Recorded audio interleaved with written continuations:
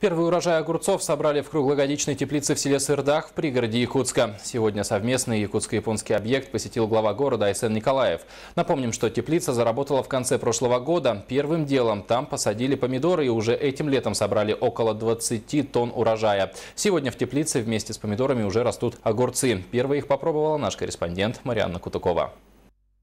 Семена огурцов высадили 8 августа. По планам до конца года более полутора тысяч кустов дадут порядка 11 тонн урожая. Первые огурцы получат детские сады Якутска. Затем они поступят на продажу в магазины Илинангер, Поярков и Якутский хлебокомбинат. Стоимость овощей будет определена по рыночной цене.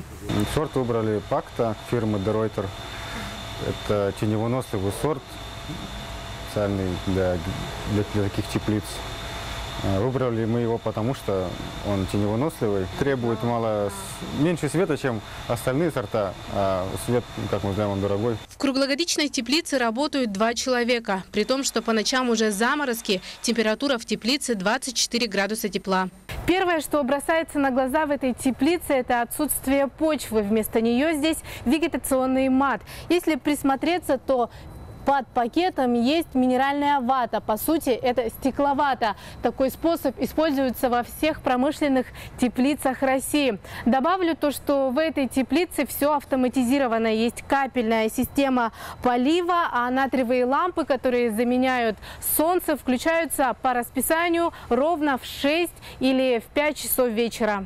На вкус огурцы оказались очень сочными и хрустящими. Скоро экологически чистых овощей станет больше, так как на площадке идет подготовка к строительству еще двух теплиц.